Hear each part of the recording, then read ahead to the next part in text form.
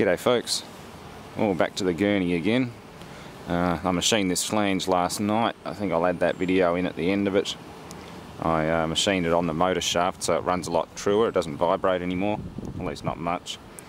Um, yeah, a lot of good responses on what might be causing the problem. Could be the uh, unloader valve there, or it could be this. Initially I thought I'd actually open this up when I got it, but it doesn't look like I have. The nut hasn't been off in years. So I'm thinking that might just be the problem. The old fittings are all rusty as hell, so it wouldn't surprise me. Yeah, I reckon we'd have rust scale and shit plugging that bloody um, inline strainer. So if we're not getting enough water in through the intake, because this is a common intake manifold going to both cylinders, if it can't supply full water flow through that little inlet, it's not going to work. Like, this isn't one of those eco water saving Karcher, Karcher type cleaners which can run off a little piddle of water. This thing actually needs a full full head of pressure to work. Or full volume anyway, not so much pressure but just good volume and uh, it won't get that if this strainer is plugged. So let's pull that apart and have a look. G'day folks. Well I think I found the problem with the gurney. Um, I checked the inlet strainer and everything like that, that's all fine, clean, working. But I got the, uh, oh, I took the discharge line off the check valve, that's the return outlet there. I took that off and just ran the pressure cleaner and it was sticking open. Like even when I pulled the trigger on the gun it was just pissing water out everywhere and adjusting. It didn't change anything. So the only thing I can determine is there's a bit of wear on this seat here there's no ball like some people were suggesting it's actually a little Teflon nipple of sorts and uh, that, that stainless steel retainer and nipple slide out and close this off I guess when there's back pressure it's probably supposed to be spring loaded but a, it's very stiff. I can't get it out at the moment without forcing it. And B, there's pitting and wear on that seat, probably from fine particles and crap coming through the water. And it's just acted like a sandblaster. Unfortunately, that nipple also has a bit of uh, pitting and scoring on it, but I'm hoping if I can get this out intact, I might be able to just give it a quick skim on the lathe. Like just take a fraction off it and it'll seal again. So he's hoping that that works. Um, otherwise, I don't know, I'm a bit lost for uh, ideas on this one. This can also be adjusted to spring tension as well. That's a lock nut at the top there and the main body of it. So I could always adjust it. But yeah, it's an interesting device. There's a bypass passage here which this screw regulates by opening or closing it as you wind it out. That's what that grub screw is for. There's a passage up there and passage down there for pressure differential so it's almost working like a reversing valve on an air conditioner which uses pressure differential from a solenoid except this one's internally governed I suppose. It's like mechanical programming on an automatic transmission. It uses fluid and mechanical stuff to program itself in a certain sequence. Fluid pressure changes things shift and move pistons move. It's about all I could put it down to. So yeah. I'm going to clean this up, chuck it back together again and we'll put it into the into the gurney and see what happens. I mean, worst comes to worst I'll have to find another one because I'm pretty sure this one's rooted. The only other thing I, I can find, the pump seems to work. I haven't tried plugging the outlet and just seeing what pressure comes up, but I'm sure if I did it'd probably rise pretty damn high, if not dangerously high. So uh, I'm not going to do that, but I'll uh, give this a try. Thanks for watching. Okay, well I've got the piston out. Um, yeah, that's what was left of the O-ring and it was all jammed around behind it. So, that's the problem. It's had water blowing past it and it's been sticking. Because that O-ring's just trashed, so I went to Repco and got a couple of uh, suitable-ish replacements. Should do the job. Polish that bore up a bit too, it looks a bit sad. Um, again, I'll still redo the seat. Probably won't touch that little nipple on the end because that's made out of um, Teflon and it should conform to the seat on that anyway. That's the least of my worries now that I know what that was doing. Good. Put it back together again. Okay, well I'm not a complete idiot after all. It's not so much how you screw the uh, end on it, it's the fact that that little orifice in there, the main jet, was blocked. like 100% blocked. It took a fair bit of force with a bit of spring spring wire to get the piece of crap out of it, but it's free now, so I should be able to screw this back on and make some pressure. And that explains why it snapped back onto my finger when I pulled down on it while it was running. Um, it shouldn't really do that because it'd be unloaded, but because of all the back pressure it acted like a piston and pushed back. So let's put this back together properly and try it again. Oh, nearly there.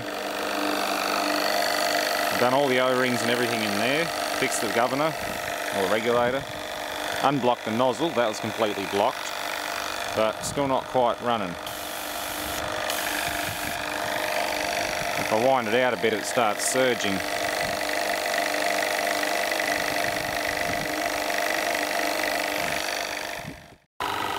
Okay, I'm about done with this piece of junk for this afternoon.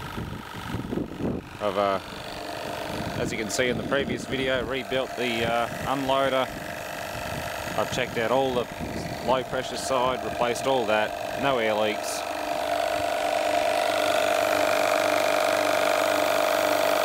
Just doesn't want to work.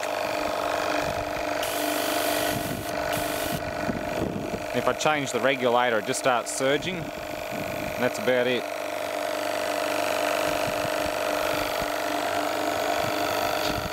Hmm.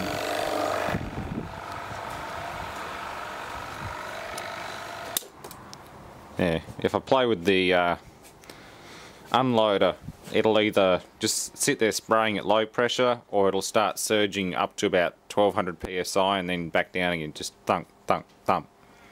I just can't get it to settle down.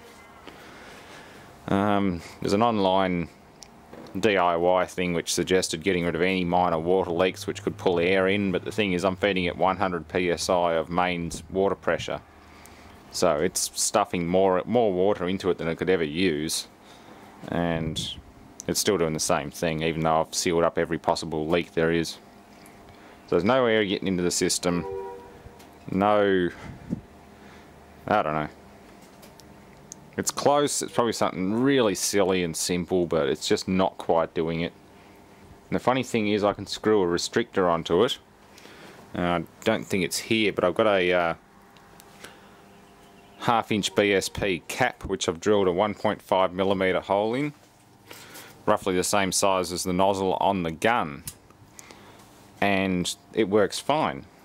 But as soon as I screw the gun on there which has the same size restriction it starts surging. So I'm wondering if the pump is a little bit tired and the pressure differential going through the, the length of the hose is too much for it and the unload is just tripping out so if anyone knows a way of fine tuning or even hotting these things up to the point where they work properly again, because the pump isn't pissing water, it's not leaking out of the uh, bleeders or anything. Right. There's no water coming out of that little drain there, which is one of the cylinder drains. If you look down there you can sort of see one of the pistons. Same with that side. I think that side there occasionally drops one drip like it's done that much in all day. I've run it for about half an hour so far and you just get the occasional tiny drip out of that one. This little pressure bomb bomb thingy here I don't know about. I mean there's no pressure in it. I've bled it back to static pressure as it is. If there is a diaphragm or a, a bladder inside it it's blown. I just don't think that's doing anything. It might not help I guess the next step might be to actually unscrew it and replace it with just a, a plug. I'll just plug off wherever that goes onto it, but it doesn't seem like it would change anything. I'm getting a terrible water hammer through the hose though. I can hear the pipes in the house rattling every time it surges. So that could be part of the problem, but I'm done for tonight. I've, I've got much better things to muck around with. I've wasted enough time on this today. Thanks for watching. Now there we go. Nice and cleaned up.